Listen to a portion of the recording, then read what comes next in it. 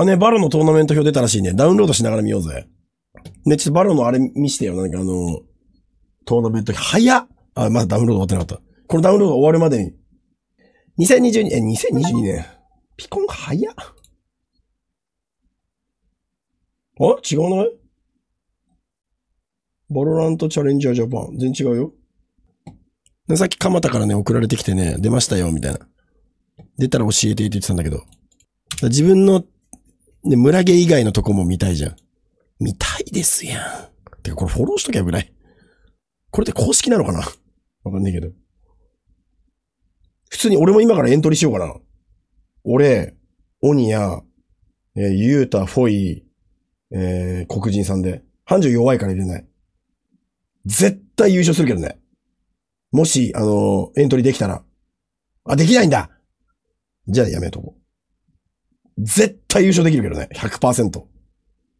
もうフェンネルがグループリーグ A にいますね。スカーズが B にいる。これって誰が決めてんだろうね。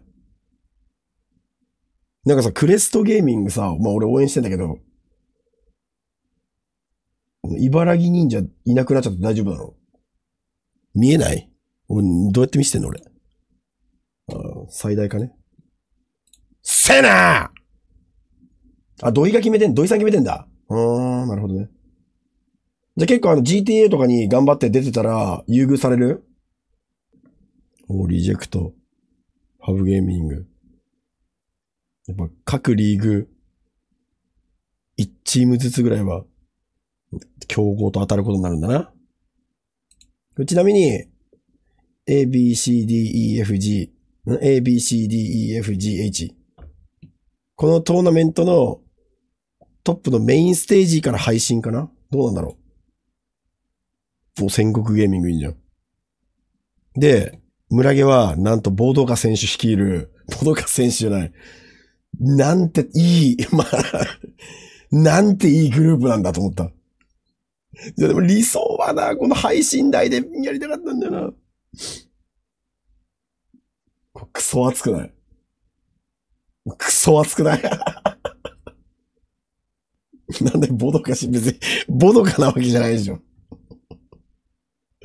これいいよね。えフォイントコも出んじゃんう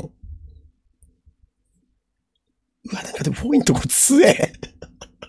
え、フォイントコ強。一番強いとこ入れられてんじゃん。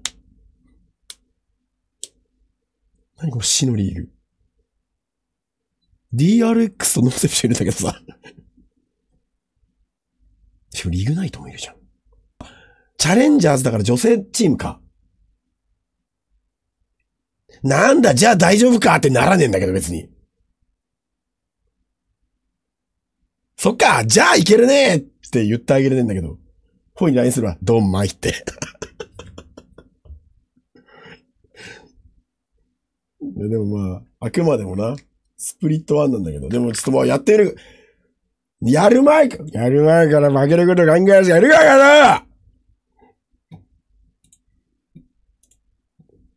もうこれはちょっと配信ないんだけど、多分俺が配信してる時に、おい村毛勝ったぞみたいな、おい村毛負けたぞみたいな速報が流れても、俺勝っても負けても触れないんで、その、その配信が一区切りついたら、あの、触れるわ。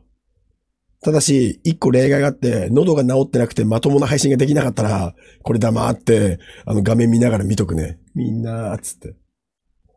で、メンバー強いね。ただ言って、ね、ムラッシュゲーミング1年間がっつり練習してきてるんで、もう最高の相手っすね。マジで。しかもまあ、ね、このリドルと当たる前にもさ、まずこう、ちゃんと本当に当たるかどうかっ、ていうか、お前らが上がってこれんのかっちゅう話よ。まずは。ね、ゼータのアカデミーの子がいっぱい入ってんだよね。ゼータのアカデミーのあの子すっげえうまかったわ。あのジェット使ってた子。一人さ、あの、上の方に上がったよね。あれち、誰だっけ？楓くんだっけ？ユランが昇格して楓がリドルに入ったんだっけ？うわこれ、もし当たることになったらさ、配信してみたかったな、マジで。